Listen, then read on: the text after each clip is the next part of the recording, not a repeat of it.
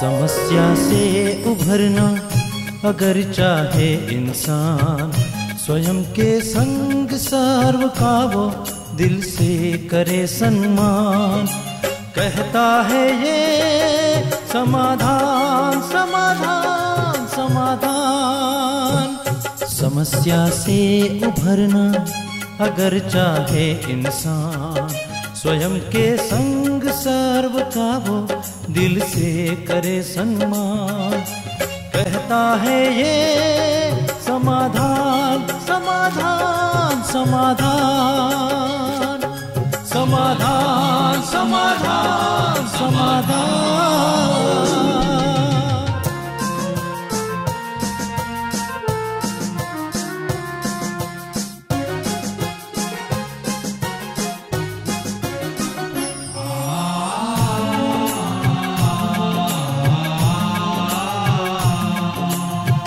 तनाव बन मुटाव की अगन से। स्वयं तू संभल ले है इसी में शान दूरिया दरारे मिटाए मन से। जीवन बन जाएगा खुशियों की खान। खुशियों की खान। कहता है ये समाधान समाधान। समाधान। नमस्कार, आदाब, सत श्री अकाल। मित्रों, स्वागत है एक बार पुनः आप सभी का करने समस्या का समाधान हमारे साथ हैं एक खास मेहमान कार्यक्रम में। मित्रों, कुछ सुंदर सी पंक्तियाँ किसी ने कही कि यदि आपके चंद मीठे बोल किसी का खून बढ़ा देते हैं तो ये भी रक्तदान है। यदि आप किसी की पीठ थपथपा देते हैं और उसकी थकान दूर हो जाती है तो ये भी श्रमदान है। आप अपनी प्लेट में उतना ही भोजन लेते हैं जितना आपको चाहिए, आप उसे व्यर्थ नहीं करते। तो ये भी अन्नदान है। और इन दानों के साथ एक सबसे बड़ा दान होता है मित्रों, वो है जीवन दान, जो एक डॉक्टर पेशेंट को देता है, मरीज़ को देता है। और इस दान को करने वाली और अपनी जीवन का भी दान, मानवता की सेवा अर्थ कर देने वाली डॉक्टर हिना मुकादम जी हमारे साथ हैं, जो माउंट आबू के ग्लोबल हॉस्पिटल और रिसर्च सेंटर में सीनियर क्लिनिकल एसोसिएट के रूप में अपनी सेवाएँ दे रही हैं और साथ ही साथ न केवल लोगों के तन को ठीक कर रही हैं, लेकिन मेडिटेशन के माध्यम से लोगों के मन को भी तंदुरुस्त कर रही हैं। तो आइए ऐसी डॉक्टर साहिबा का, जिन्होंने अपना जीवन, सचमुच मानवता की सेवा अर्थ अर्पित कर दिया है, जीवन दान देने वाली, ऐसी डॉक्टर का हम अभिनंदन करते हैं आज के समाधान कार्यक्रम में। आपका पुनः डॉक्टर हिना बहुत बहुत स्वागत और अभिनंदन है। एक प्रश्न मेरे जेहन में आ, कल से उठ रहा था जब हमारी चर्चा समाप्त हुई उसके पश्चात से कि मुंबई और पुणे में आपकी पढ़ाई हुई है परवरिश हुई है। इतनी चकाचौंध वाली लग्जरियस लाइफ को छोड़कर माउंट आबू एक छोटा सा स्थान है छोटा सा गाँव है।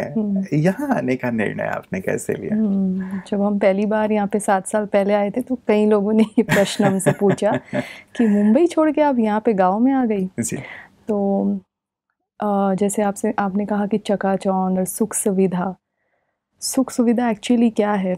उसको जानना ज़रूरी है है ना? जब हम मुंबई में अपना ड्यूटीज़ करते थे तो ट्रैवलिंग में इतना समय जाता है वहाँ पर। और ट्रैवलिंग में इतनी हमारी पूरी जो एनर्जी है वो निकल जाती थी। और इतनी जो चीज़ हमको चाहिए वो हमको वहाँ पर नहीं मिलती थी। जो खुशी चाहिए जो शांति चाहिए वो वहाँ पर हमको नहीं मिली।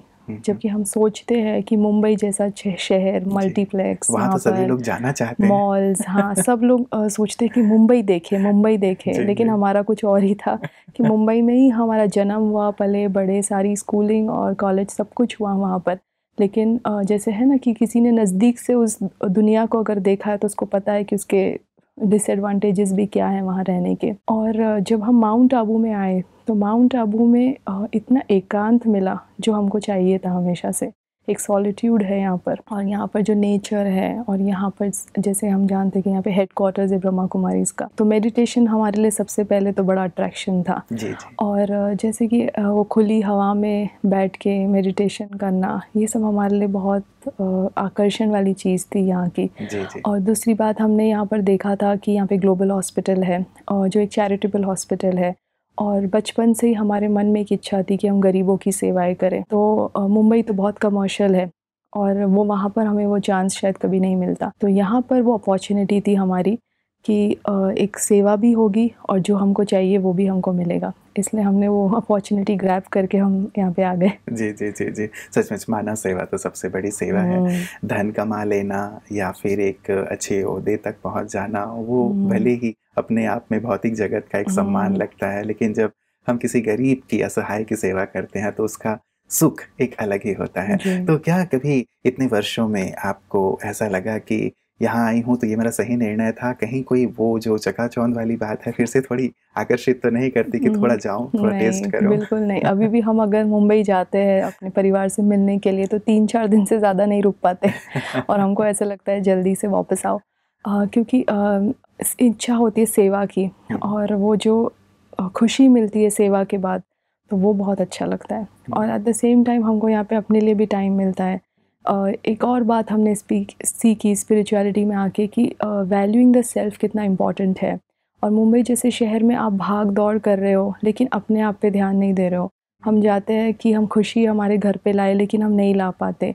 और स्पिरिचुअलिटी में हमने सीखा कि पहले सेल्फ केयर इंपॉर्टेंट है और फिर दूसरों का केयर नहीं तो दो पेशेंट्स हो जाएँगे फिर मैं भी और पेशेंट भी। तो ये सीखा हमारे हमने अपने जीवन से कि सेल्फ केयर अपने आप को वैल्यू करना। जी जी जी जी ये बहुत सुंदर बात है कि हम दो पेशेंट एक दूसरे को कैसे ठीक कर हम्म। सकते हैं। पहले मैं खुद ही ठीक हो जाऊँ। हम्म, एक सुंदर और महत्वपूर्ण सी बात इस बात के संदर्भ में जानना चाहूँगा। लोग भागे तो जा रहे हैं चाहे आप वहाँ भी देखें तो चाहे वो मेडिकल प्रोफेशन में हो या डिफरेंट प्रोफेशन में हो अपने आप को वक्त नहीं दे पाते हैं। कि हम खुद को समय दें। कहते हैं कि हमें वक्त नहीं मिलता। कितना ज़रूरी आपको लगता है कि हम खुद को वक्त दें तो शायद जीवन बेहतर हो सकता है सुख शांति से संपन्न हो सकता है। एक्चुअली हम सब रीज़न देते हैं कि हमारे पास वक्त नहीं है लेकिन कहीं ना कहीं हम समय निकाल सकते हैं। और हम बाहर क्यों जा रहे हैं? खुशी लाने के लिए जैसे मैंने कहा। तो आपको जब खुशी चाहिए तो अपने आप को भी समय देना पड़ेगा। और हम ऐसे नहीं कह सकते हमेशा से कि हम बिज़ी हैं हमारे पास बहुत सारे पेशेंट्स हैं। क्योंकि बॉम्बे जैसे शहर में एक डॉक्टर अलग अलग पाँच छः हॉस्पिटल से अटैच होते हैं और रात के बारह बजे घर पे पहुँचते हैं। ऐसे भी डॉक्टर्स हैं जो सुबह आठ बजे निकलेंगे और रात के बारह बजे पहुँचेंगे। तो कैसी लाइफस्टाइल जी रहे आप एक डॉक्टर होकर इस बात को नहीं समझ पा रहे तो फिर पेशेंट को आप क्या कहेंगे है ना? अगर आप पेशेंट को कहेंगे कि वॉकिंग करनी है ऐसे आपकी नींद अच्छी होनी चाहिए। ये सब हम पेशेंट को सिखाते हैं लेकिन हम खुद ही नहीं कर पा रहे। जी जी। तो हम इस बात को समझे कि जो हम कह रहे हैं पहले हम करके दिखाए वो। हम्म, हम्म, हम्म। तो कहीं ना कहीं हमको टाइम निकालना ही पड़ेगा। जी जी अपने शरीर के साथ अन्याय नहीं करना चाहिए। इस कदर जिस कदर आपने कहा और। सचमुच ऐसी हैक्टिक लाइफ दिखाई। देती है। और फिर एक समय के पश्चात देखने में आता है कि फिर बहुत सारी बीमारियाँ हमारी खुद के अंदर आ जाती हैं और हम उससे परेशान होते हैं। आप कैसे बैलेंस रखती हैं डॉक्टर हिना आपकी प्रोफेशनल लाइफ में स्पिरिचुअल लाइफ में क्योंकि एक बैलेंस सभी नहीं रख पाते हैं। कोई हम्म। कोई पलड़ा जो होता है बहुत भारी हो जाता है। हम्म। तो कैसे बैलेंस रखें आपके अनुभव हम्म। से सबको क्या कहना हम्म। चाहें? जैसे जो हमारी सेवा है ग्लोबल हॉस्पिटल में हम इमरजेंसी में काम करते हैं। तो हम ऑन कॉल रहते हैं ट्वेंटी फोर आवर्स कभी हमको रात में दो बजे कॉल होता है एक बजे कॉल होता है। हम्म, कभी हम दोपहर में कॉल होता है कभी रात में। कहीं कहीं भी हमको कॉल आ सकता है। लेकिन हम रेडी रहते हैं उस चीज़ के लिए। क्योंकि हमने स्पिरिचुअलिटी में सीखा कि ये सारी चीज़ें जो है ना, ये एक्चुअली दे रहे हम दूसरे को। और एक बहुत अच्छी भावना है कि देने में ही लेना है। तो बहुत खुशी मिलती है जब हम आके अपना समय देते हैं लोगों को। तो ये एक है। दूसरा, हमने रिसेंटली एक स्पिरिचुअल एक्टिविटी की थी आइसोन होवर मैट्रिक्स उसमें हमने सीखा उस एक्टिविटी में कि कौन सी चीज़ आपके लिए बहुत इंपॉर्टेंट है, अभी करनी है। कौन सी चीज़ें हैं जो आप बाद में कर सकते हो। कौन सी चीज़ें हैं जो आपको डेलीगेट करनी है दूसरों को? कौन सी चीज़ें हैं जो एलिमिनेट करनी है? जैसे ये व्हाट्सएप यूट्यूब ये जो हम इस पर टाइम स्पेंड करते हैं उसको एलिमिनेट कर सकते हैं। तो ये जो एक्टिविटीज़ हम करते हैं स्पिरिचुअलिटी में यहाँ पे छोटे छोटे ग्रुप्स में तो ये भी हमको एक इससे सीखने को मिला कि कैसे हम बैलेंस रख सकते हैं इन सब चीज़ों का। हम्म, तो वो ध्यान में रखते हुए ये बैलेंस रखते हैं। दूसरा बहुत सारी चैलेंजेस भी आती है। आप जब क्रिटिकल केयर में काम करते हो है ना? कभी कभार मॉब आ जाता है। और फिर वो हमको चिल्लाएगा तो हम चुप बैठे। ऐसा होता है ना कि हम भी चिल्लाए लेकिन बहुत समझ आ गई अभी कि रिलेटिव जो आते हैं ना वो बहुत दुख में आते हैं। कभी कभार उनके पास पैसे नहीं होते और वो जिस तरह से बोलेंगे कि हमारे पेशेंट को देखो ठीक होना चाहिए हम आगे कहीं लेके जाए क्या इसको बुलाओ इसको बुलाओ ये सब बहुत प्रेशर होता है माइंड पे उस समय। लेकिन स्पिरिचुअलिटी से हमने सीखा कि कैसे अपने आप को स्टेबल रखना सामने वाले को जानना सामने वाले को समझना कि वो ऐसा क्यों बोल रहा है। हम्म, हम्म, तो ये चीज़ हमें बहुत बैलेंस रखती है। और दूसरा कि जैसे कि हमारे पास कोई वेस्ट थॉट्स नहीं होते दिन भर तो हम मन से थकते नहीं हैं हम्म। इसलिए हमारी नींद भी रिकवर हो जाती है। क्योंकि हम जैसे ही बेड पे सोते हैं हमको नींद आती है। तो लोग सोचते हैं ना कि इमरजेंसी में काम कर रहे हैं कि नींद ही नहीं ठीक से हो रही होगी। बार बार तो वो उठा देता है। हाँ वो भी वो भी वो भी हम चैलेंज लेके उसको भी रिकवर कर लेते हैं। लेकिन लगता है कि ये सबकी दुआएँ इतनी मिलती हैं हम्म। आपको कि आपको बहुत सुंदर नींद आ जाती है। हम्म, जी जी। हम्म। क्या लगता है कि ये जो आप अपनी दिनचर्या रखती हैं कि क्या हम सुबह जल्दी उठ करके मेडिटेशन करें या रात को करें या बीच बीच में कुछ ऐसा वक्त आप निकालती हैं? क्योंकि जो एक बात हम लोगों की चल रही है कि लोग समय की बात हमेशा कहते हैं कि वक्त हमें नहीं मिल पाता है। क्या सजेस्ट करेंगे कहाँ कहाँ से टाइम चुराया जा सकता है और हम्म। थोड़ा थोड़ा मेडिटेशन किया जा सकता है? हम्म, हमें एक बात याद आ रही है। हमारे पापा हमको हमेशा कहते थे कि बच्चे जब भी आप बस के लिए खड़े रहो टैक्सी के लिए खड़े रहो तो हमको दुआ पढ़ने के लिए कहते थे वो हम्म, जिसको कहते हैं दरूद शरीफ। और हम वो पढ़ते थे। और वो आदत हमको अभी भी है कि हम अगर बस के लिए खड़े रहेंगे या टैक्सी के लिए खड़े रहेंगे या चल रहे होंगे तो पापा ने हमको सिखाया था कि बच्चे वो टाइम भी वेस्ट नहीं करना है और खुदा को याद करना है। हम्म, तो ये हमारे में बचपन से था। तो जब हम इधर भी आए तो जैसे कि इधर भी मेडिटेशन करने को कहते हैं और ऐसा कोई समय नहीं है उसका लेकिन फिर भी हमारे पास एक मॉर्निंग का समय और एक शाम का समय फिक्स होता है जब हम लोग साथ में ग्रुप में बैठ के मेडिटेशन करते हैं। परंतु हम समय को चुरा सकते हैं। जैसे मैंने कहा ना कि हम बस के लिए खड़े हैं या दो पेशेंट के बीच में एक समय होता है जब आप थोड़ा सा कुछ सेकेंड फ्री होते हो उस समय आप मेडिटेशन पहले आपको बैठ के करना पड़ेगा फिर आपको आदत होगी कि ये छोटे छोटे समय पे कर सकते हैं। जब हम भोजन खाते हैं जैसे हम कहते हैं ना कि भोजन मौन में खाओ ये तो मेडिकल में भी सिखाया जाता है कि आपको ये इतनी बार चू करके खाना है लेकिन लोग आज ये सब चीज़ें भूल चुके हैं। तो वो समय है उस उस टाइम पे भी आप मेडिटेशन कर सकते हो क्योंकि हम कहते हैं जैसे अन्न वैसा मन तो वो एक समय है जब हम वॉक कर रहे होते हैं।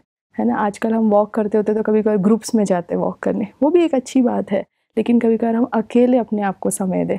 और अकेले जब हम निकलते हैं तो एक सेल्फ टॉक करके निकल सकते हैं। हम्म, हम्म, तो ये सब समय जी जी आपने तो काफ़ी सारा स्थान हमें गिना दिया कि यहाँ यहाँ हम मेडिटेशन के लिए निकाल सकते हैं। अब तो हमारे पास लगता है कि बहुत वक्त रहेगा इसके लिए। लंबे समय से आप पेशेंट्स को देख रही हैं। कुछ पेशेंट्स ऐसे होंगे जो मेडिटेशन करते होंगे। और कुछ नहीं करते होंगे। तो हम्म। क्या आपको अंतर दिखाई देता है उन लोगों में कि जो मेडिटेशन कर रहा है उसकी रिकवरी कहीं जल्दी हो पा रही है और जो नहीं कर रहे हैं उनको कहीं ज़्यादा तकलीफ़ हो रही है दर्द हो रहा है? आपका अनुभव क्या कहता है इसमें? जैसे हाँ मेडिटेशन करते हैं तो बहुत खुश रहना सीख लेते हैं। हर परिस्थिति में खुश रहना सीख लेते हैं। और कई ऐसी रिसर्चेस है जो से जो बताती है कि आप जब खुश रहते हो तो आपकी बीमारी जल्दी ठीक होती है। हम्म, और कई ऐसी रिसर्चेस है जो बताती है कि आपका इम्यून सिस्टम बूस्ट होता है जब आप खुश रहते हो। और कहीं जैसे कि डायबिटीज़ है ब्लड प्रेशर स्ट्रोक है हार्ट प्रॉब्लम्स है ये सब ठीक होते हैं जब आप खुश रहते हो। उन्होंने ग्रुप्स पे स्टडी की है। हम्म, हम्म, तो यही हम देखते हैं जिस क्योंकि हम ग्लोबल हॉस्पिटल में काम करते हैं तो हमारे पास ऑप्शंस है कि हम दोनों प्रकार के लोगों को देखते हैं। तो देखते हैं कि कैंसर जैसी बीमारी भी अगर कोई बीके पेशेंट ब्रह्मा कुमारी इसके कोई फॉलोअर को हो गई तो वो फिर भी इतना खुश रहते हैं। रिसेंटली कुछ साल पहले हमारे पास एक भाई थे जिनको स्टमक कैंसर हो गया था और उनको पता था कि छः महीने बाद ये शरीर छोड़ेंगे। लेकिन उनसे हमें इतना सीखने को मिला वो इतने खुश रहते थे यहाँ तक कि उनसे खाए खाना भी नहीं खाया जाता था लेकिन वो खुश रहते थे बस उनको देख के ही सब खुश होते थे। ऐसे ही डायलिसिस पेशेंट्स जो होते हैं वो कितने बीमार पड़ते हैं बार बार उनको कुछ ना कुछ इन्फेक्शन होता है कभी उनका जो फिस्टुला होता है जहाँ से डायलिसिस होता है वो फेल हो जाता है। तो बहुत दुख में होते हैं रिलेटिव्स भी वैसे ही दुख में होते हैं। ऐसे ही हमारे पास जो मेडिटेशन करते हुए जो डायलिसिस पेशेंट्स आए उनमें भी हमने देखा कितने स्टेबल कितने स्टेबल इतने कॉम्प्लिकेशंस के साथ स्टेबल कि हमने भी सोचा कि ये कैसे इतनी टॉलरेंट पावर थी उनके पास। जी जी। बहुत सुपर हम्म, बिल्कुल।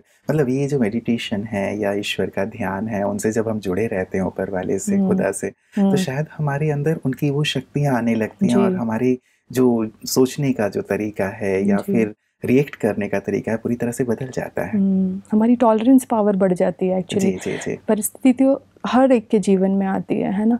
लेकिन जो टॉलरेंस पावर डेवलप हो जाती है वो इस मेडिटेशन से होता है। हम्म, हम्म। क्या इस मेडिटेशन से बीमारियों को ठीक होते हुए भी आपने देखा है कि कोई ऐसी तकलीफ़ थी और फास्ट इम्प्रूवमेंट तो होता है वो तो हम देखते हैं। या पूरी तरह से जहाँ से व्यक्ति निराश भी हो जाता है उसे भी आपने ठीक होते हुए देखा है? कई पेशेंट्स ओपीडी में आते हैं और जो मेडिटेशन करते हैं वो अपने एक्सपीरियंस हमारे साथ शेयर करते हैं कि थायराइड जैसी बीमारी थी उनको और उन्होंने मेडिटेशन किया और है ना खुदा से वाइब्रेशंस लिए परमात्मा से वाइब्रेशंस लिए और अपने थायराइड ग्लैंड पे दिए उन्होंने और उन्होंने कहा कि उनके जो रिपोर्ट्स है वो सब नॉर्मल हो गए। ऐसी कई डिज़ीज़ लाइक एक पेशेंट ने हमको कहा था पीसीओडी था उनको। और पीसीओडी तक उनका ठीक हो गया और उनको जो भी प्रॉब्लम्स थी वो सब नॉर्मल हो गई। तो ऐसे हमारे पास कैट प्रोग्राम होता है कोरोनरी आर्टरी डिज़ीज़ का जो प्रोग्राम होता है हार्ट ब्लॉकेजेस के साथ पेशेंट्स आते हैं और उनको भी एक लाइफस्टाइल सिखाई जाती है सुबह से लेकर रात तक। उसमें मेडिटेशन भी एक पार्ट है और कहीं ऐसे ब्लॉकेजेस खुल जाते हैं उसमें। ऐसे ही डायबिटिक पेशेंट्स आते हैं। तो डायबिटिक पेशेंट्स को भी सिखाया जाता है कि इसको एक्चुअली मेडिटेशन सिर्फ़ ये नहीं है कि बैठो ध्यान में और हम कहीं और है। ऐसे नहीं है। उस खुदा से वाइब्रेशन लेना और उनको सिखाया जाता है कि कैसे अपने पैनक्रियास पे वाइब्रेशंस डालो और कैसे उसको कमांड दो कैसे ऑटो सजेशंस दो इंसुलिन सिक्रीट हो रहा है। तो उससे कहीं रिकवरी होती है। जी जी जी जी। और कई बार मेडिकल साइंस इस चीज़ को नहीं मान पाती कि ऐसा हो सकता है क्या? ब्लॉकेजेस के लिए तो ऑपरेशन करने की ज़रूरत ही ज़रूरत पड़ेगी लेकिन ये भी एक चमत्कार ही है कि मेडिटेशन करके या खुदा से हम जो बातें करते हैं या उनकी वाइब्रेशन लेते हैं और जो भी आपने ऑटो सजेशन की बात कही उन सबसे भी चीज़ें ठीक हो सकती हैं। तो जो इस प्रकार की समस्याओं से ग्रस्त हैं डॉक्टर हिना आप क्या कहेंगे? चाहे वो शारीरिक तकलीफ़ हो मानसिक तकलीफ़ हो वो किस प्रकार से ईश्वर का ध्यान किया करें ताकि उन्हें भी अपनी इस तकलीफ़ में मदद मिले? अ, वो अकेले तो नहीं कर पाएँगे उनको पहले टेक्निक सीखनी पड़ेंगी।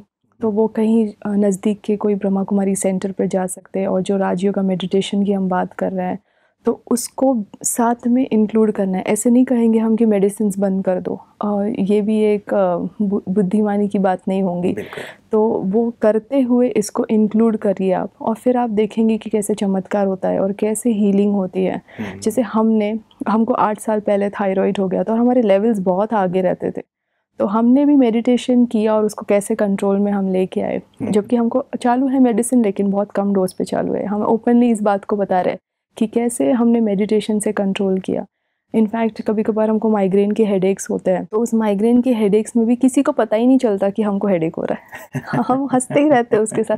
जबकि माइग्रेन कोई कोई हमको ऐसे कहते हैं कि आप कैसे सहन कर सकते हो? हमको तो ऐसा लगता है कोई हमारे सिर पे हाथ रखे कोई हमको प्यार करे इतना हम्म। हेडेक होता है जी जी लेकिन हाँ हम जहाँ पे अ, काम करते हैं वहाँ पे कहते हैं मैडम ऐसे कैसे आपको अ, तो वही चमत्कार होता है कि मेडिटेशन करते हैं तो टॉलरेंट पावर बढ़ जाती है और जल्दी ठीक होता है वो जी जी जी जी सचमुच आप अपने अनुभव से ये चीज़ें रख रही हैं तो बड़ा अच्छा लग रहा है कि हम्म। आप खुद भी इस मेडिटेशन का प्रभाव अपने जीवन पर देख रही हैं और साथ ही वो परिवर्तन अनुभव कर रहे हैं तो हमारे दर्शकों को भी इससे बहुत लाभ हम्म। मिलेगा एक जीवन शैली परिवर्तित हो गई है।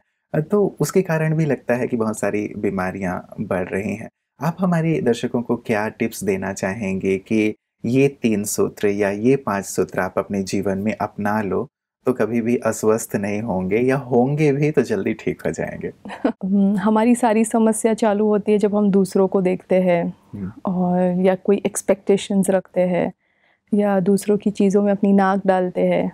तो दुखी हो जाते हैं। तो एक क्लास हुई थी बीच में हमारी जो फ्रेज़ है not my circus not my monkeys उसका मतलब है नन ऑफ़ माई बिज़नेस तो ये एक चीज़ अपने जीवन में हम अपना सकते हैं कि दूसरों को देख के दुखी ना हो। क्योंकि दुखी होंगे तो ज़रूर बीमार पड़ेंगे जल्दी। क्योंकि एक रिसर्च थी बीच में उसमें कहा था कि अगर तीन महीना आप किसी भी दर्द को पकड़ के रखते हो तो डेफिनेटली कुछ महीनों में आपको कोई बीमारी आएगी ज़रूर। ये एक रिसर्च हुई थी बीच में। तो एक याद रखे not my circus not my monkeys दूसरा जैसे रिसेंटली एक हैप्पीनेस डे था ना ट्वेंटी मार्च को। इंटरनेशनल हैप्पीनेस डे तो उसमें एक हमने स्पिरिचुअल एक्टिविटी करवाई थी। उसमें से एक दो चीज़ें बहुत अच्छी है जो मैं मेंशन करूँगी। एक भाई ने कहा कि मैं जीवन में याद रखूँगा मस्त रहो मस्ती में आग लगे बस्ती में। और उसका मतलब है कि मैं खुश रहूँगा चाहे कुछ भी हो कुछ भी जाए हो जाए। जीवन में हम्म, है ना? तो ये एक याद रखें अपने। और तीसरी बात कि जीवन में जो भी परिस्थिति आई है वो पास हो जाएँगी। तो दिस शैल ऑल्सो पास इसको याद रखते हुए हम आगे बढ़े। जी जी जी। मतलब जीवन इससे बहुत ही खुशहाल रहेगा और हम हम्म। अपनी तकलीफों से भी मुक्त होते हम्म। जाएँगे क्योंकि मूल रूप से मन से व्यक्ति ज़्यादा बीमार हो हम्म। जाता है और डॉक्टर्स भी आजकल ये कहते हैं कि। साइकोसोमैटिक हैं जो भी। डिजीजेज हैं। बहुत ज़्यादा तो कैसे इस चीज़ के लिए भी आप कहेंगे कि मन जो है वो तंदुरुस्त रहे हमेशा क्योंकि हम कई बार खुश रहना चाहते हैं लेकिन वो खुशी रह नहीं पाती है क्योंकि हम खुशी साधनों में ढूंढते हैं या हम थिएटर में जाके ढूंढते हैं या हम वस्तुओं में ढूंढते हैं और फिर दुखी होते हैं जब वो नहीं मिलती है तो लेकिन जैसे हम कहते हैं ना कि खुदा जो है वो सागर है और अगर आप उससे जुड़ जाएँगे तो आपको सब कुछ उससे मिल जाएगा। तो इसीलिए हम बार बार कह रहे हैं कि ये मेडिटेशन एक तरीका है जो आपको खुश रखेगा और जीवन में एक्सेप्टेंस एक होता है स्वीकार करना। कई ऐसी चीज़ें हमारे जीवन में आएँगी जो हम बदल नहीं सकते। तो इंसान इस चीज़ को समझता ही नहीं और फिर दुखी होते जाता है। तो कहीं ना कहीं एक्सेप्टेंस हमारे जीवन में हमको कभी ना कभी तो ये चीज़ को समझना ही पड़ेगा। हम्म। और जितना हम स्वीकार करेंगे उतना हम खुश रहेंगे। जी जी जी जी। हम स्वीकार नहीं करना चाहते कई चीज़ों को ये बात तो सच है और उसके हम्म। कारण ही तकलीफ़ हमारी बढ़ती जाती है। मेडिटेशन में आप लगातार इस बात का ज़िक्र कर रही हैं कि हम खुदा से जुड़ जाते हैं। अ, क्या उनकी मदद का कुछ आपको ऐसा सुंदर अनुभव है कि अ, कई बार आपने कहा कि हड़बड़ी वाली स्थिति रहती है हॉस्पिटल में भी कोई ऐसा केस था कोई ऐसी परिस्थिति थी जबकि आपको लगा कि बहुत ही क्रिटिकल सी सिचुएशन है और हम्म। सचमुच खुदा ने मेरी मदद किया करके। हम्म, सबसे ज़्यादा जो क्रिटिकल में होता है वो हमारे संस्कारों की टक्कर होती है। जब हम ऐसे सिचुएशन में काम करते हैं और हम कुछ ऑर्डर करेंगे और कोई नहीं करेगा तो जब अब हम आप, अपने आप को नौ साल पहले देखते हैं तो हमको बहुत गुस्सा आता था कि हर चीज़ परफेक्ट होनी चाहिए हमने कह दिया तो ये ऐसे होना चाहिए और अगर वो नहीं हुआ तो हमको बहुत गुस्सा आता था। लेकिन फिर जो उसकी मदद मिली हमको हम लोगों को समझने लगे। हम समझने लगे कि वो अपनी कैपेसिटी से काम कर रहे हैं। और अगर हम चिड़चिड़े हो गए दुखी हो गए तो पेशेंट सफ़र करेगा। तो वो एक अंडरस्टैंडिंग आ गई। नहीं तो एक होता है ना कि मैं डॉक्टर हूँ ये स्टाफ है। जी जी। और फिर वो गुस्सा आना। तो वो गुस्से को अपने बहुत कंट्रोल में कर लिया। तो जो स्वभाव संस्कार की जो टक्कर होती उसी से पेशेंट सफ़र करता है एक्चुअली या रिलेटिव कुछ बोल देगा तो उससे। तो वो सारी चीज़ें समझ में आ गई। तो ये चीज़ बहुत हेल्प करती है जब हम क्रिटिकल केयर में काम करते हैं और कोई पेशेंट सीरियस होता है और उनको देखते हैं तो।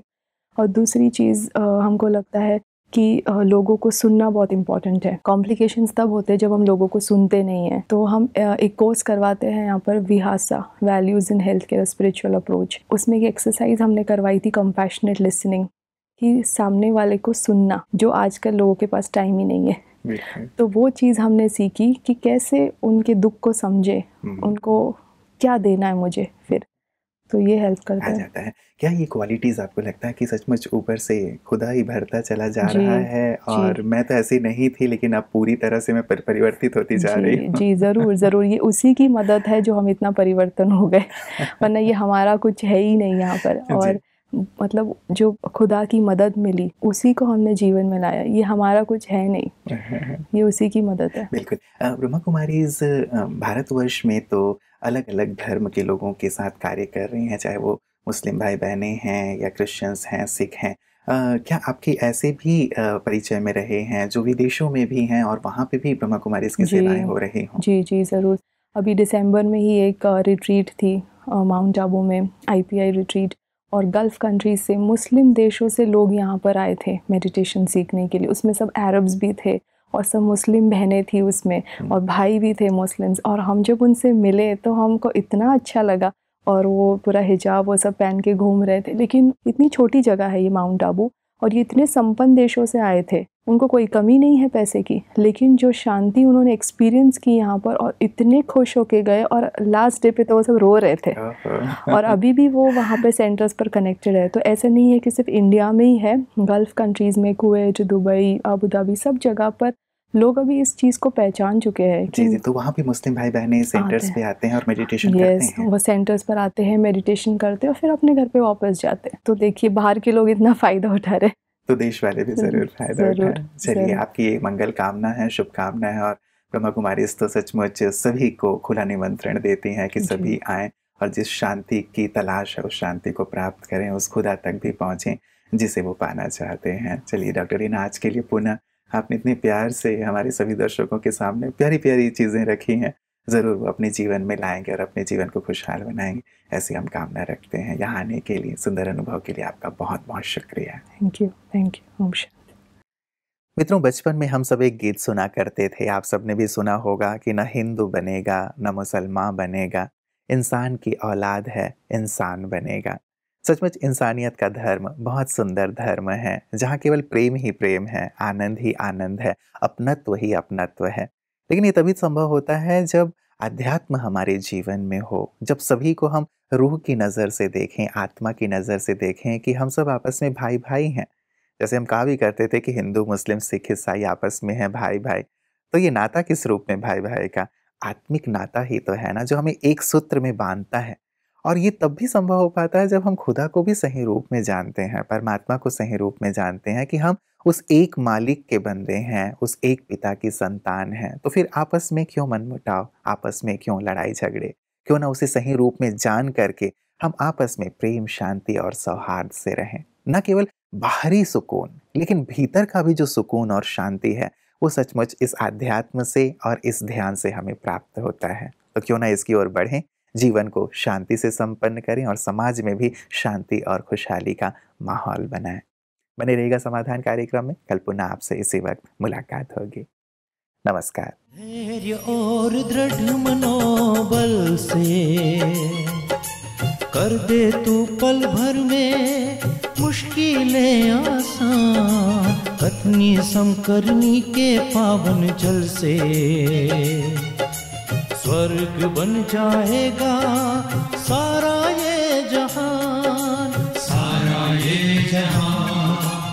कहता है ये समाधान समाधान।